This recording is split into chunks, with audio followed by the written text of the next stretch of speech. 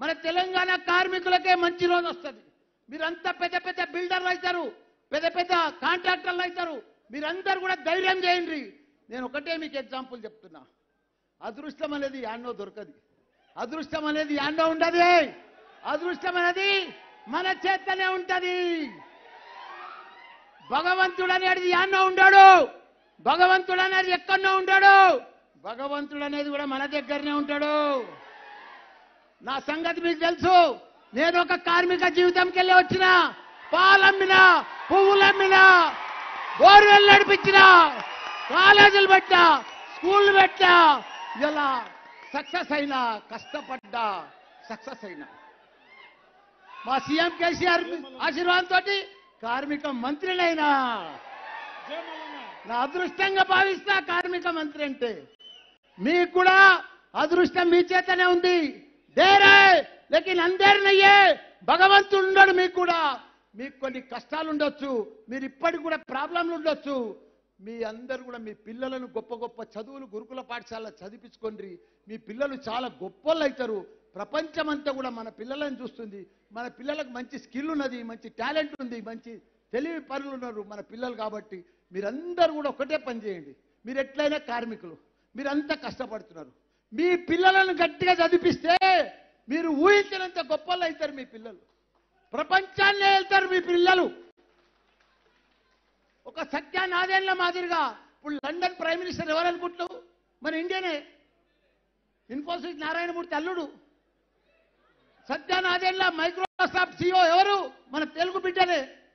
మన తెలివితేటలు లేవనుకో ఇప్పుడు నన్నే చూడండి ఒక పాలమెట్టోడు ఇలా కార్మిక శాఖ మంత్రి పెద్ద పెద్ద మెడికల్ కాలేజీలు ఇంజనీరింగ్ కాలేజీలు పెట్టిన ఘనత మల్లారెడ్డి టాప్ సైంటిస్టులను తయారు చేస్తున్నా టాప్ ఇంజనీర్లను తయారు చేస్తున్నా టాప్ మెడికల్ స్టూడెంట్లను తయారు చేస్తున్నా. నేనేం ఇంజనీర్ కాదు డాక్టర్ని కాదు మళ్ళా.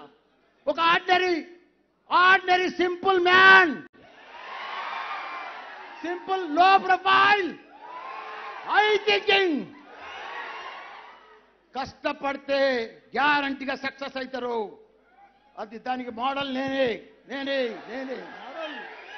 షార్ట్ కట్లు ఎవ్వరు సక్సెస్ గారు తెలంగాణను తొమ్మిది సంవత్సరాలల్లా మరో అద్భుతం మరో ప్రపంచం చేసిండు తండ్రి కొడుకులు. కేసీఆర్ కేటీఆర్ ఇలా అందరు కేసీఆర్ దానికోసమే ఆలోచిస్తున్నారు మన హైదరాబాద్ తెలంగాణ రాష్ట్రం. ఎందుకు దూసుకుపోతుంది? ఎంత గొప్ప రాష్ట్రం అయింది? ఎందుకు ఇంత గొప్ప రాష్ట్రం అయింది? ఎందుకని? మంచి విద్యా సంస్థలు. ఇవాళ ఆంధ్ర పోయింది ఆంధ్ర అవుట్ అయిపోయింది. మహారాష్ట్ర బీఆర్ఎస్ పార్టీకి లక్షల మంది వస్తున్నారు మన కేసీఆర్ చూసి. మన కేసీఆర్ సినిమా యాక్టర్ కాదు మామూలు మన తెలంగాణ సీఎం. కానీ ఇప్పుడు మహారాష్ట్ర పోతే లక్షల మంది బ్రహ్మరథం పడుతున్నారు. రేపు మహారాష్ట్రలో వచ్చేది బీఆర్ఎస్ ప్రభుత్వమే ఆంధ్రలో కూడా వాళ్ళు పెద్ద పెద్ద అంత కుల రాజకీయం చేస్తున్నారు ఆంధ్ర రెడ్డి రాజకీయం అలాగా కాపు రాజకీయం అలాగా కమ్మ రాజకీయం అలాగా. ప్రజలను మాత్రం ఎవ్వడు పట్టించుకుంటలేడు. రేపు పట్టించుకునేది కూడా మన బీఆర్ఎస్ కేసీఆరే. పోలవరం కట్టేది కూడా ఎవరు? కేసీఆర్. విశాఖ ఉప్పు ఉక్కు కార్యక్రమం కార్య ఉప్పు విశాఖ ఉక్కును కాపాడేది ఎవరు? మన కేసీఆర్. ఎవ్వరికి ఆ దమ్ము లేదు.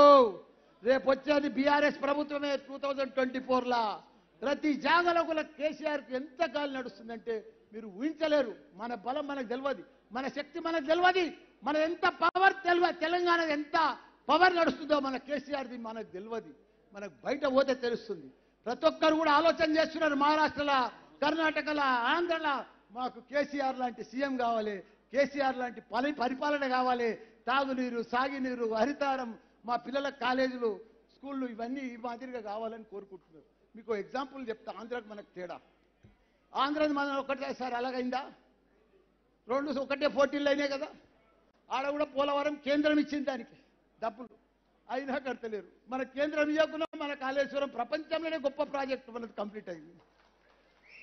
మన మన మనకు అన్ని కూడా మీరు చూసుకోండి.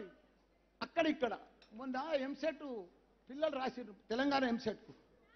మూడు లక్షల మంది మన తెలంగాణ పిల్లలు ఆంధ్రాకి వెళ్ళి తెలంగాణకు రాసిరు డెబ్బై ఐదు వేల మంది ఆంధ్రాకి వెళ్ళి రాసిర్రు మన తెలంగాణలో. ఎందుకు రాస్తున్నారు విద్యా వ్యవస్థ?